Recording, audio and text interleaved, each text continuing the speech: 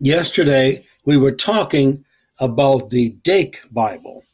It was the section sec- second section, it should have been named underneath my talk Dake Bible 2. But instead, it shows uh, on the YouTube screen when you go to look at what I have there, it says Bible Nave 3.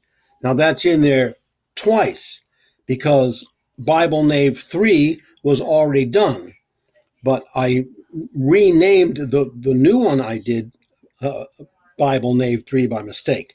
I should have named it Bible Dake 2.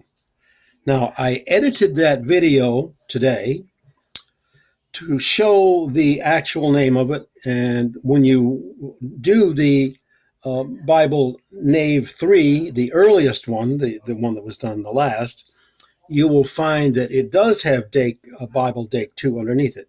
But on the main screen, it does not. So if you want to hear the second section of the Dake Bible, which is in there, you will find it under Bible Nave 3. But once you get to the actual video and watch it, you will notice that it says Bible Dake 2.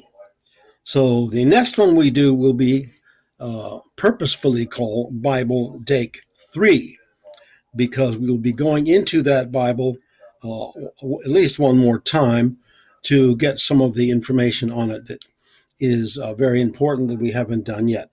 So that's just a little warning there about a slight mistake that I made, but uh, I do like to correct mistakes.